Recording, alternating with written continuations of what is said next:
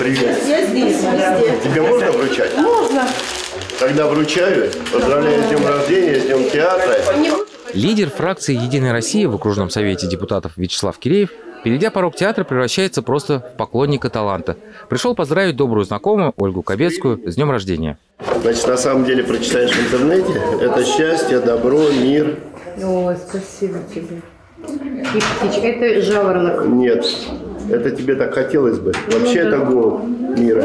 Они знакомы 20 лет. Театральная труппа под руководством Ольги Кобецкой взрослела на его глазах. Одним словом, сложновато, но это э, такая творческая глыба с очень большой душой и очень горячим сердцем. Вместе со статусными гостями в театральный центр «Жаворонки» пришли и школьники.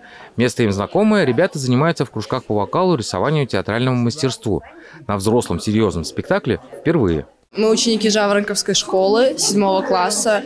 Э, Сегодня мы пришли э, посмотреть на спектакль. Раньше мы ну, не видели никогда, типа, именно на таком не были. Прекрасное стечение обстоятельств. День рождения Ольги Кобецкой как раз между днями работника культуры и театра. В «Жаворонках» уже сложилась традиция, как отмечать такое совпадение. Раз в году я выхожу на сцену, потому что считаю, что в свой день рождения, который находится между Днем э, работника культуры и Днем театра, я имею полное на это право.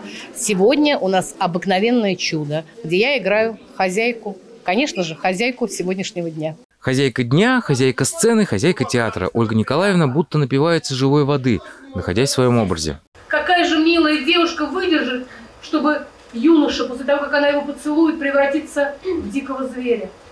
Даже опытной женщине и то страшно. Нет, не позволю.